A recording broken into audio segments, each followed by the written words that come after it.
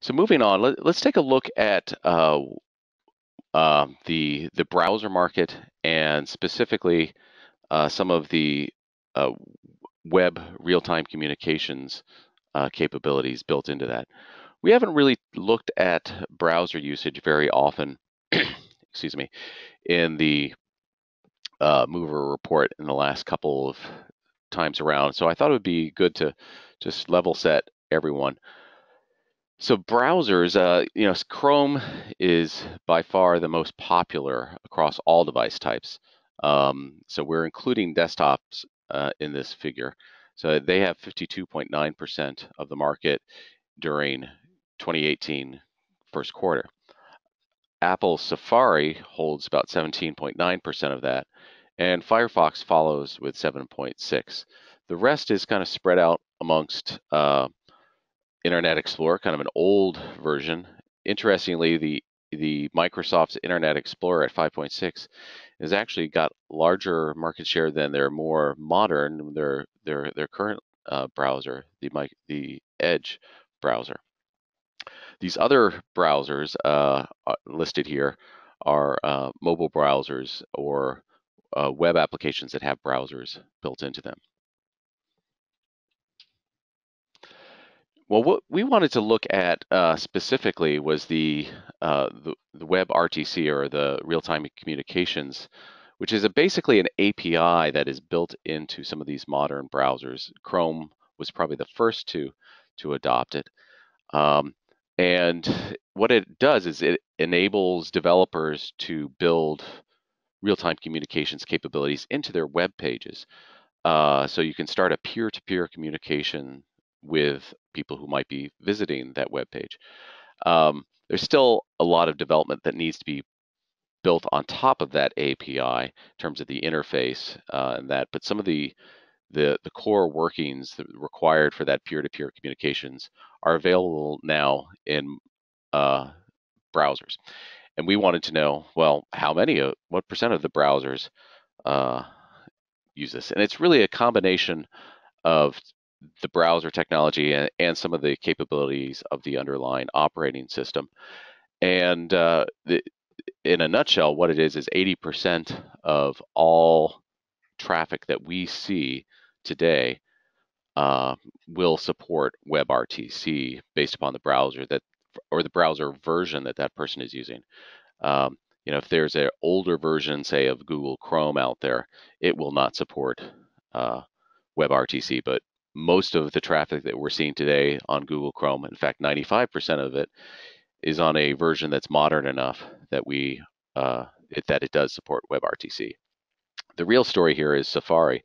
Safari started to um, support WebRTC uh, back in version 11.2 in September of 2017.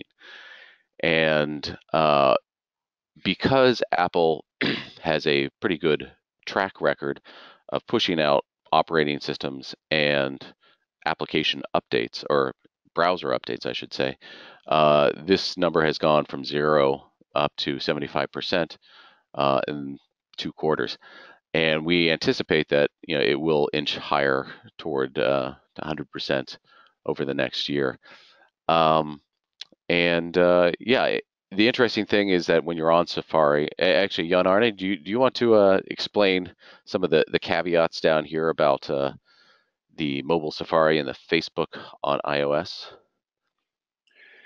Yeah, sure. You've uh, pretty much explained uh, all there is to explain on the on, uh, on this slide. Um, but um, yeah, you're right uh, uh, about the uh, Safari browser. That it's actually uh, pretty impressive to provide 75% support on on iOS, knowing that support for WebRTC was introduced only at iOS 11 uh, a few months uh, months back.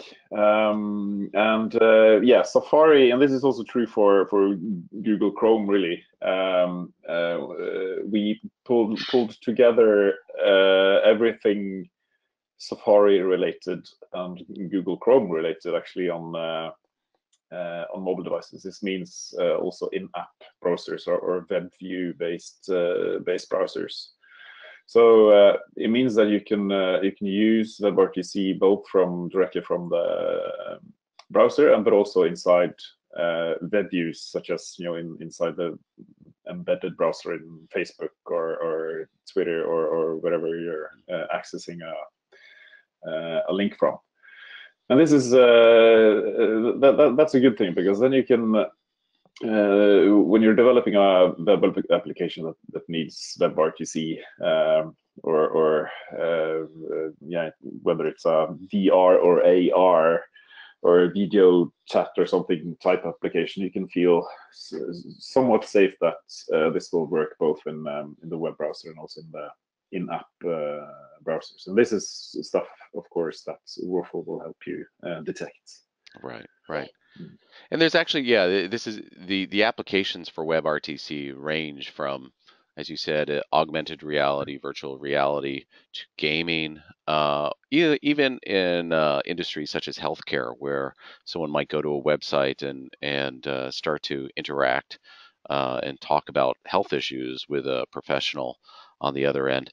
Um, the the the opportunity for real-time communication, not just text-based, um, is is becoming more of a reality and really kind of promises a a very interesting user experience for people going forward. And I should say that's across device, and not just uh, on a desktop, but uh, a lot of the mobile devices. Uh, you know, these statistics apply there also.